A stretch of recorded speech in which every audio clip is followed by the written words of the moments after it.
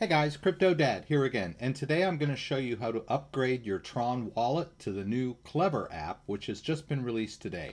So let's jump in.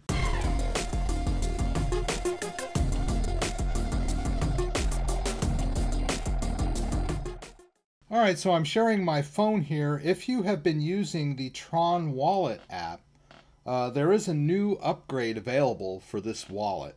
It's an iOS based wallet. I believe it's also an Android based wallet. And it's uh, it started out as a Tron based wallet, uh, but it has expanded beyond that quite a bit. So you can hold Tron in this wallet. As you can see up there, I've got my Tron wallet active.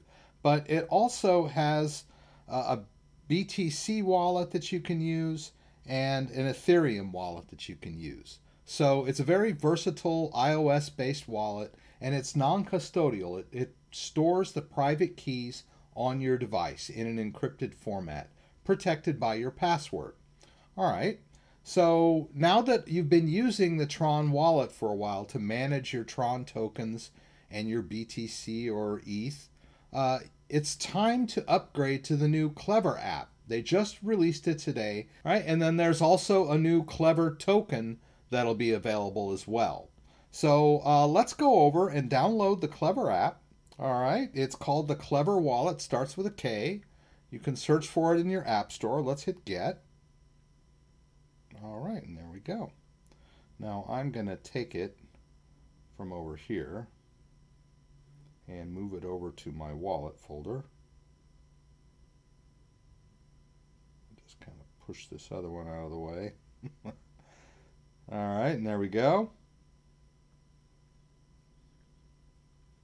All right, so we've got the uh, app installed and put in the right place on our phone.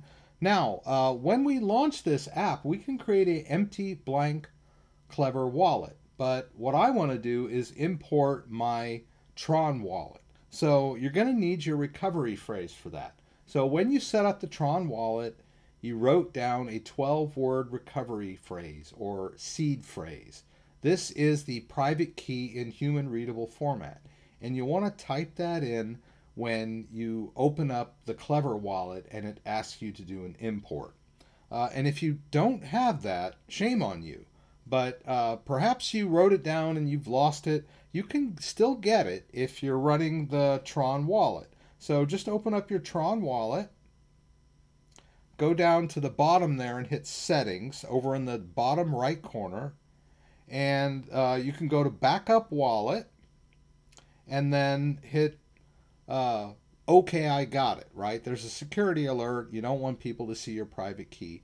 But you'll be able to open it up and check it out and uh, find your seed there.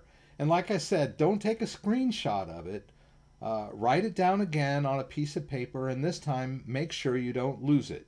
You want to make sure that you get the seed right? It's 12 words. All right so once you've got that done you can go over to your Klever app and open it up.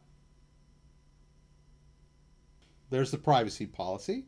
We'll go ahead and allow notifications. It'll tell you when you've got incoming and outgoing transactions and it'll alert you to news and stuff. Go ahead and agree to the terms. Hit continue. All right, now we want to do a restore wallet. Uh, if you do a create wallet, then it'll be blank, it'll be empty, and that's fine if that's what you want to do.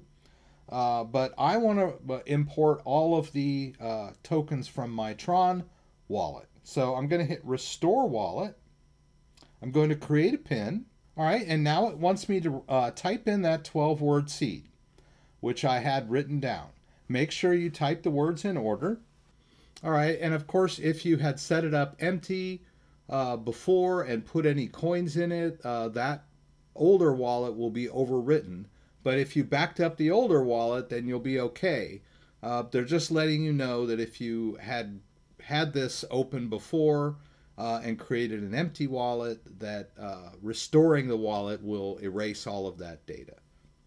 But we're fine because this is the first time we've run this app. We don't have any data in here yet. So I'm just going to click OK. Okay, and there we go. Uh, we've got the wallet restored and all of our tokens are here. Now you'll notice that the top coins there at the top are uh, just giving you the current market prices. All right, and then you can scroll down a little bit and you can see that there's a Tron token section and there's an Ethereum token section.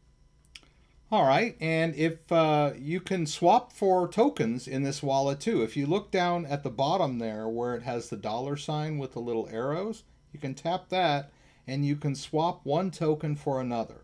So you can choose any token that you have in the wallet uh, most of them are available uh, to trade.